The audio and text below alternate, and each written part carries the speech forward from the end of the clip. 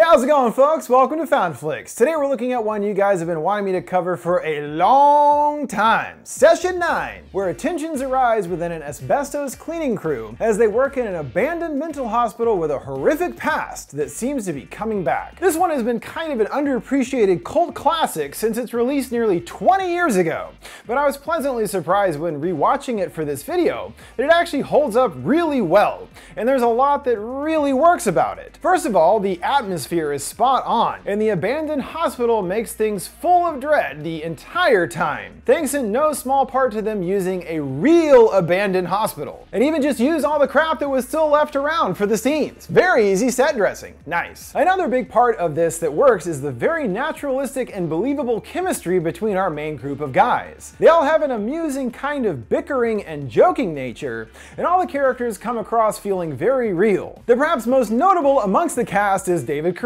Sure, he's always a bit over the top, but that actually works for the movie. And he does have one amazingly super line delivery during an argument. No, fuck you! There's also Josh Lucas in there playing against type as kind of a jerkass, and I barely recognized him in the role. I kept being like, yo, is that Josh Lucas? I can't tell with that killer stash. Any uh, Sweet Home Alabama fans out there? Just kidding. But this really is Peter Mullan as Gordon's movie. The entire setup about getting into his head, and how as soon as he enters the hospital, it seems that he's beginning to suffer a psychotic break but is there something supernatural behind it? That's the big question of the movie. So let's pay a visit to the Danvers Psychiatric Hospital and get to work with Session 9, breaking down the story, including the important patient Mary and her sessions, as well as explaining the ending that ties everything together. We open with asbestos removal business partners Gordon and Phil, waiting to enter the premises of the rundown Danvers Psychiatric Hospital. While Phil is upbeat, flipping through radio stations,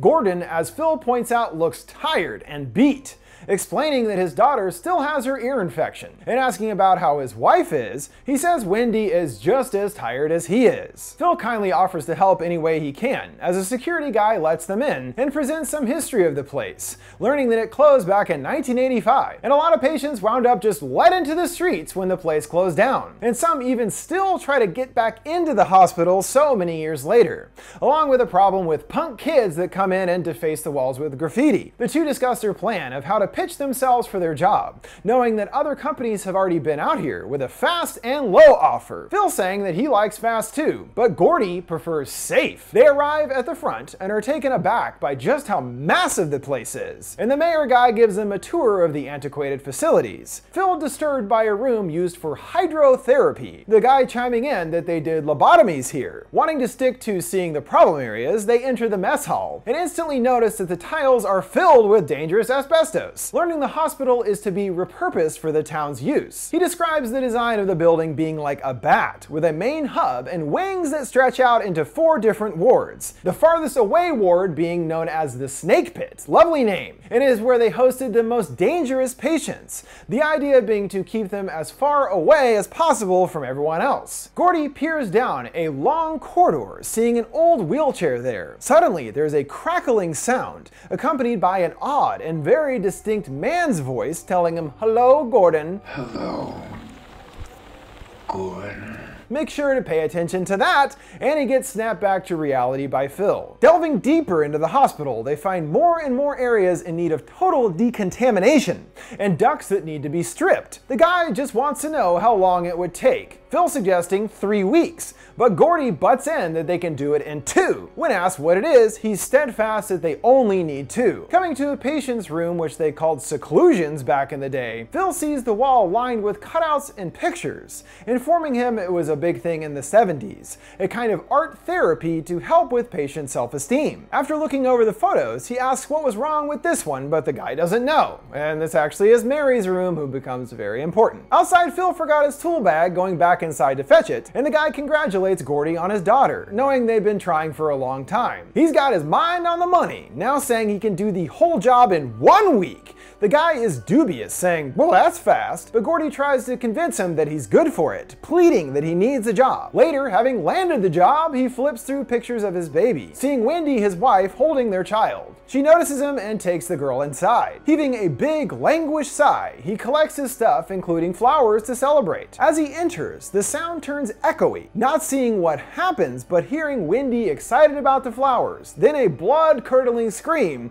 and well, that's usually not good. The mystery of what happened here becoming a huge part of our story overall. The next day, they get to work, joined by the rest of their crew, like Hank, who is now sleeping with Phil's ex-wife, which is pretty awkward, leading to the two constantly giving each other shit. Along with the brightest in the bunch, almost lawyer Mike, along with Gordy's nephew, the slickly mulleted greenhorn Jeff, who is kind of a moron. Mike chides him for putting on heavy metal music, as the vibrations will stir up the dangerous asbestos particles in the air and go right into his lungs, which is obviously dangerous. At lunch, Hank is happy with their seemingly perfect gig, telling him he should be grateful they're gonna earn good money, 10k a piece. That is pretty good. He immediately asks what the catch is, and that's the wrinkle. They have to do the whole job in just seven days. Hank bugged, as it's at least a two-week job, them getting into it again. The security guard shows up with keys for them, asking why the hospital closed down, bemusing about budget cuts in the 80s, but Mike knows about another story tied to the Danvers hospital that is much more alarming. He tells the tale of one patient there, Patricia Willard, and the doctors utilize a new technique to release hidden or repressed memories. This led to Patricia giving a grandiose story about her whole family abusing her and being part of some weird satanic cult,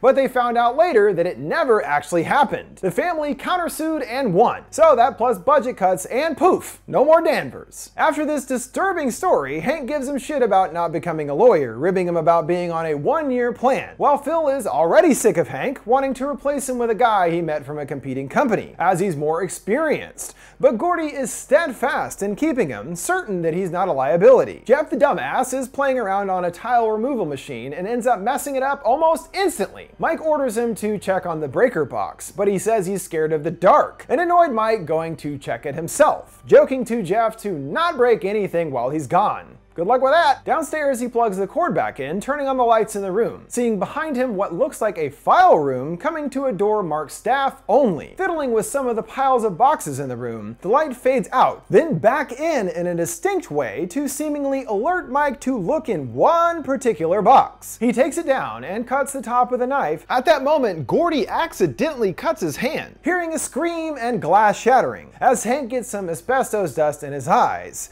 as though opening the box has some kind of grander implication, which it certainly does. Wrapping up for the day, Mike says he needs another hour, Gordy telling him to get out by dark, leaving him all alone in the spooky building as night falls. He sticks around to investigate what he discovered in the box marked as evidence, several reel-to-reel tapes that tell the story of patient Mary Hobbs. Sticking on session number one. Can you guess how many there are in total? Yup, nine. Good job, you're paying attention. The main crux of the sessions is to use that repressed memory therapy to help Mary come to terms with an incident that occurred 22 years ago on Christmas night in Lowell. She cries, nothing happened. The doc saying something did, that's why we're having these sessions. To remember. And suddenly her voice changes to that of a child. Mike noticing that she has other aliases like Billy and Princess, most likely suffering from dissociative identity disorder, different personalities within Mary, and she has switched to the innocent Princess one now. She reveals that Mary got a pretty china doll, while her brother Peter got a big old knife. Remembering Peter along with Billy and Princess played hide and seek. The doc asks if Billy told her what happened, but she says that he only tells her nice things. He asks if another personality, Simon, was there, but she shuts him down, saying she doesn't know who that is and complains of being tired. And Gordon is back outside his house with a stain on his pants.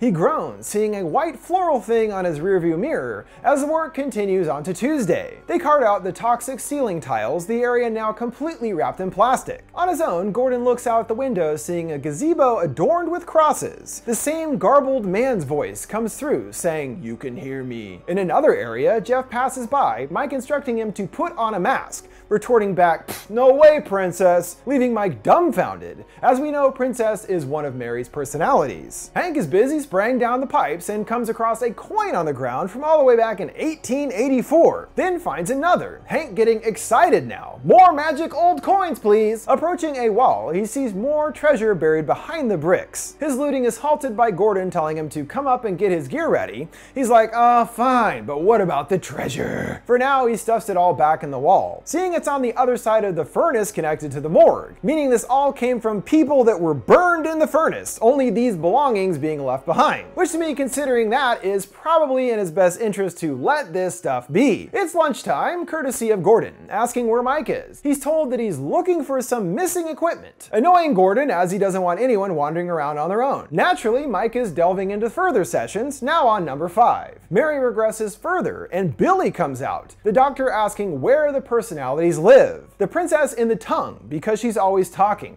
Billy in the eyes, because he sees everything. What about Simon, he asks, the recording cutting out abruptly with no answer. What's up with this Simon guy? That's probably the key to everything. It is. Dumbo Jeff is looking through an old record book, cackling that three people were committed due to mortified pride, showing how much of an easy catch-all throwing people in a place like this used to be, as Mike comes back lamenting that he couldn't find the cartridges. They consider how someone would get committed nowadays, as if you kill someone you go to jail, right? But Hank brings up John Hinckley, who is ruled to have been temporarily insane, winding up in a nut house, but not jail. Mike corrects that that usually doesn't work, as homicide implies a motive. Jeff giggles, what are you, a lobotomy case? Taking some of his drink and pretending to foam at the mouth. Mike violently grabs him, sticking a chopstick right up to his eyes, detailing how he could jam it in at just the right spot, and it wouldn't actually kill him. In a similar fashion to how lobotomies were done back in the day, the only prescribed cure, they say, Sunglasses, of course. But relents saying that he's just messing around,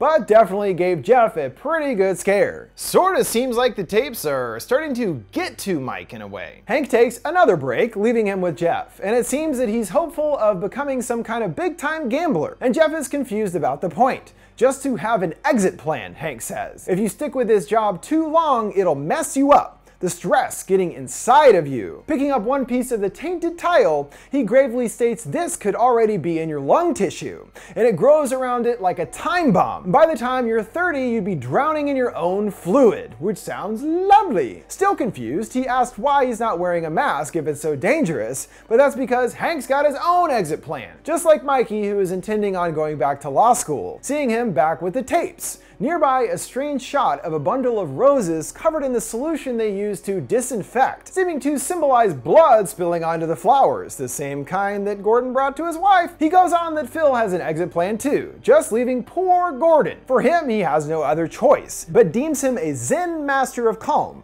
as Hank has never seen him lose it. But he is growing worried, seeing some cracks starting to show in the past few months. Jeff excuses, well, he's got a new kid and everything, but from Hank's perspective, while obviously stressful, having a child should be the joy of his life, and it simply isn't. Gordon alone makes a phone call to Wendy's saying they need to talk, but their conversation is lost over the noise of the generator until she seemingly hangs up on him. Back at the window, he sees some shady looking characters meeting with Phil, handing over some cash and getting something in return. Hmm, what's he up to? That night, Hank returns under the cover of darkness to collect his loot, snatching up all the coins coins and other jewelry he can get his mitts on, including a little bag with glass eyeballs, smiling, they've gotta be worth something. He hears a rustling sound, but thinks nothing of it, digging even deeper into the wall and finding a lobotomy needle, impressed and wondering what it is. He enters an area flanked with a row of cages, startled by more noises behind him, and growing more terrified, spots a shadowy figure emerging at the end of the hall, sending him hightailing it out of there. He gets spooked by some birds and tries to calm himself down. He comes to a corner marked exit and gasps when rounding it. Without seeing his fate, we move to Wednesday, where they're still working on the dang ceiling tiles while Mike tears up the floors, but there's no sign of Hank. They all try to get a hold of him, but no dice suggesting to call Amy. As we know, Phil's ex-wife that Hank is now dating. Annoyed, he offers to make the call since he knows her number,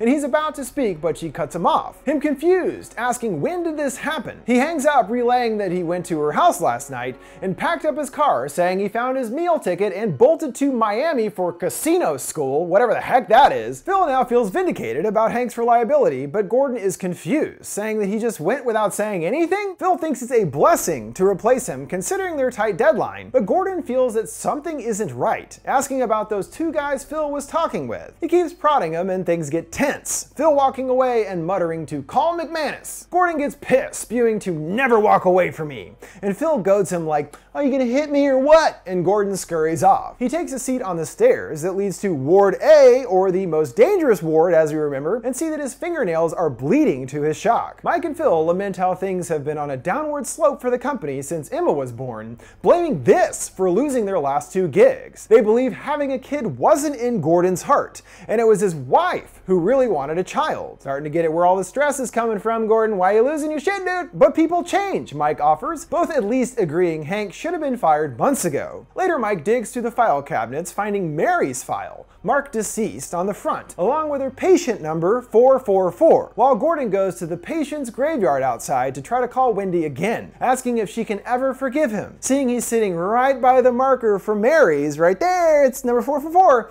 and it's actually broken. It's like Mary's starting to seep in Gordon, seep, seep, seep. Mike puts on another session, Mary crying that she misses her family. The doc asks about the scars on her chest, saying she got them when falling off of her bike. They ask about her other personalities, but she says she doesn't know who any of them are, seeing in her file photo that she does have scars on her chest, so she wasn't making them up, I guess. Billy takes over, again asking about that night. She starts tearing up, the doctor urging that she must wake up Simon. Phil and Gordon are left alone at the end of another hard day. Phil is fresh from the shower and tells an extremely weary looking Gordon to take one too, as he doesn't want to keep that hazardous shit all over him. He asks Phil what the stupidest thing that he ever done was, and he jokes, well, beside working for you, introducing Hank to Amy. He stammers, wishing that he could take that back. Gordon reveals that he hit Wendy, that after the first day of work on Friday, he went home with flowers and champagne to celebrate, that moment we saw with him in the car outside of his house. He said that he wanted to kiss her,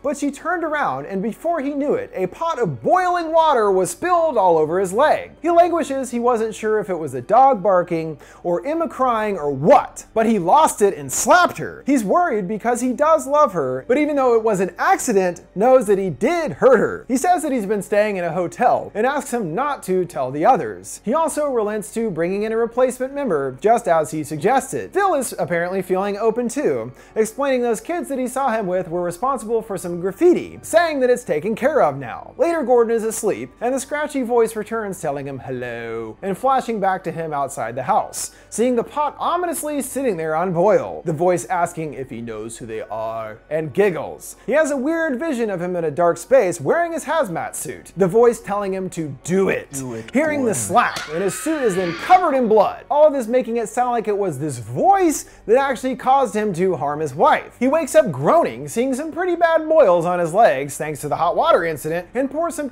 disinfectant on it that looks like it hurts like a son of a bitch. And obviously he's been sleeping outside in his truck at the hospital rather than at a motel as he told Phil. We then float through the hospital, stopping on the wheelchair, a shadow seen passing by on the other side of the wall. Thursday morning, Phil is by himself and rolls a joint, which actually must have been what he got from those boys. Just as Gordon drives up in the van, giving him a limp, hey, surprise he's up so early. And Gordy is looking beaten down, getting misty-eyed, saying that he wants to go home. Yikes, it's plain to see Gordon's guilt has sent him deep into a mental breakdown, along with all the stress has basically crumbled him. Phil goes to the roof to finish his doob, chuckling it's about to get ugly. Power struggle! No one's stronger than David Caruso. I'm the leader. I am a Miami boy. Mike is brought along by Phil asking him to come with him and expresses concern over Gordon's mental state, feeling that he needs some time off and that he is becoming a liability. Mike understands and he spills that he hit his wife, all overheard by an eavesdropping Gordon, going on about how they're worried about losing the big bonus and everything because if they don't take action,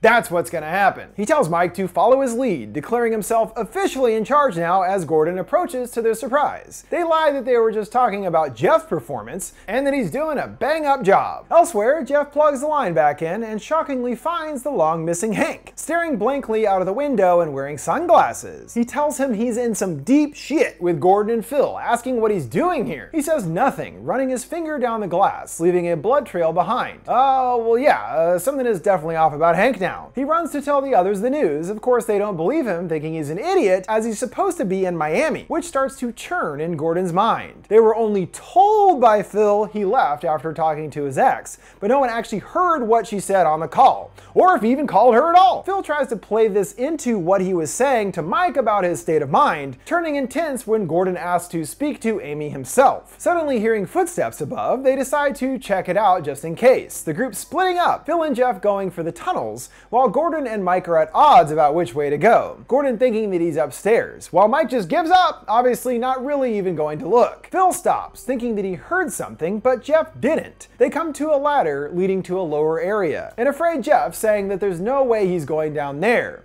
But there's no stopping Phil. Jeff mentioning the blood that he saw on Hank's hands before he sets off, ordering him to stay put. It's like a puppy dog. Jeff, Stay, boys, stay. Mike has moved on to the final session, session 9, and they turn back to that fateful Christmas night and what Simon did. Billy says Mary was hugging her new doll looking for Peter, but they stop and yowl that Mary is a good girl and doesn't need to know what Simon did. Phil keeps searching the tunnels, finding Hank's Walkman, while upstairs Gordon hears a voice calling to him. Phil hears Hank mumbling, What are you doing here? over and over to himself, just as the generator gets overheated and loses power throughout the whole building. Jeff runs full sprint to attempt to outrun the darkness, but the lights switch off too quickly, plunging him into black, and Phil discovers Hank huddled in his undies, mumbling to himself. Oddly, Gordon chirps in on the walkie saying that he's found Hank, despite him being right in front of Phil. Gordon comes back to the wheelchair area, and Phil calls him asking where he is. Up in a ward on the third floor, he says, Phil telling him he's on the way. Mike gets the generator going again, immediately causing the tape recorder to whir to life. It's a crackly man's voice telling the doctor hello. Not just any voice, but the exact same one that Gordon has been hearing, even on the very first day that he set foot into the hospital. The connection between Gordon and Mary now quite clear, as the recording continues and we follow him start to piece things together. The doctor asks if he's Simon, and he coyly replies, you know who I am, and things turn to Christmas night. After some prodding, he reveals the events they've been trying to get out, beginning that Peter was naughty and scared Mary. He crept up behind her and startled her, causing her to fall down right on her doll that cut her up real bad. Uh, the scars on her chest, yes? They continue that she needed someone to help her, and that's when he introduced himself and told her to cut up Peter, urging to do it, Mary, and she cut him up real bad. Good thing the knife was brand new, he laughs insanely. Then, just so mom and daddy wouldn't get mad, he told her to cut them up too. So much blood, Simon chuckles, concluding that Mary wanted to do it. Oh boy. Gordon is in Mary's room, the same Phil was in earlier, and he has put up his own photo collage on the wall of his family and friends. And Phil enters looking detached. Meanwhile, Jeff is still losing it running, screaming like a banshee, and gets his suit off, making it to the van and grabs a walkie. He gets a hold of Gordon, telling him he's in the van. Then hearing footsteps approach, Jeff apologizes for freaking out and gets attacked, I'd wager. In the van, we see the walkie, Phil asking to come back, and it's Gordon that answers, saying he's found the one responsible. Moments later, another car comes barreling up, the new recruit McManus, passing by a bloody handprint on the van door. Gordon passes through plastic sheets while Craig searches for him and the others. Looking over into the next room, there's a big blood stain on the ground, and Gordo comes to a body wrapped in plastic. It's Hank. Phil appears, shrugging him off as a liability. A disturbed Gordon asking who did this. Phil scoffs, well, he did it to himself. Typical Hank. Wrong place at the wrong time. A mortified Gordon thinks Phil is responsible, but he responds that he needs him to wake up and take a really good look, he stresses. Gordon gets a closer look at Hank and removes his shades, seeing a lobotomy needle through his eye, just as Mike described, and the only prescribed cure, wearing sunglasses. Hank being the only one out of the entire group to even have a pair. Phil vanishes as Craig enters asking who he's talking to, confused by the sight. Gordon grabs his neck and takes the pick out of Hank's eye, hearing Simon's voice encouraging him to do it, and he certainly does, flashing back to Hank in the tunnels. We hear back to Mary's recording, asking Simon why he did it, saying Mary let him Doc, they always do, he laughs, seeing a dazed Hank down there. And it's Gordon that attacks him with the needle, meaning he was the ominous figure pursuing him. We hear more on the walkie when finding him that Hank is hurt and said Gordon is the one that did it to him. And to prove his point in Mary's room, he also kills Phil, meaning that when we saw Phil with Hank that he was already dead either appearing as a ghost or as a manifestation of Gordon's broken mind. Mike is the next to go, taken by surprise in the gym, hearing Phil repeating about being in the wrong place at the wrong time. Then finally, Jeff, outside by the van. It looks like his uncle is going in for a supportive hug, but it's the hug of death, young nephew, seeing his body lying there. Gordon now alone, he again hears Phil telling him to open his eyes, to wake up, and remember back to that day at the house with the roses and Oreos and boiling water and everything. This time when we hear the audio, there's no distracting dog barking or baby crying as Gordon excused himself earlier when he was talking to Phil. This time we hear Simon saying to do it do it now. Hearing sounds that implicate he actually murdered his entire family Wendy, the dog, and young Emma, pushed to a breaking point by the voice in his head, or rather Simon, hearing him even letting out an anguished no after doing what he did. And then at this point, he disconnected from reality, unable to accept what he did. We go back to him watching the house, and back to now enveloped in the plastic sheets, panning over his wall of family photos in Mary's room. He tries to call Wendy, apologizing for what happened, now knowing every time he tried to call prior was actually an expression of his guilt and that he never actually spoke to her, you know, being dead and all. he laments to being lonely and wants to come home, putting his dirty and bloodied hand on a photo from Emma's christening. Now understanding that it was obviously Gordon that snapped and killed his family and his whole crew, we're treated to one last ominous recording between the doctor and Simon. The doctor asks him where he lives, just as he did with Mary's other personalities. Simon responding that he lives in the weak and the wounded, as the tape continues to crackle. So Gordon definitely did lose his mind, but all the clues along the way leads me to believe that it was actually Simon that pushed him, as he says he lives in the weak and wounded, which from the get-go Gordon fits to a T. He's already nearing the end of his rope and desperate to keep his business going. They're right on the verge of going out of business, as well as struggling to raise a family. All this making him the perfect target for the malicious Simon. Even as soon as he enters the hospital on day one and spots Mary's wheelchair, instantly Simon is able to crack into his fragile mental state. And later that day, goad him into killing his family. Weak and wounded indeed. Just like with Mary, he killed her whole family. Now, is Simon actually just a part of Gordon's psyche? I'm not so sure. It seems that Simon is more of a malevolent spirit that is now seemingly attached to the hospital and was also previously attached to Mary. He appears not really in control in the one time we see him mid-attack. He's like sleepwalking or in a daze of some kind, and it doesn't look like it's actually him in control, but Simon instead. As Simon takes further control over Gordon's mind, he starts losing touch with reality, hence being told by Phil to wake up. When he finally does, he comes back to reality and only now understands what he's done, all thanks to Simon's influence. In the end, he's left with nothing and has to face the guilt of his actions now that he's back to being normal. Pretty brutal. But hey, I bet he could at least plead a strong case of temporary insanity, so he would end up in a nut house rather than jail, so that's something. That brings us to the conclusion of this in-depth explain video for session 9. I really like this one, especially for how it very cleanly puts out all the pieces of its story together, and is also able to maintain a consistently suspenseful and interesting mystery throughout.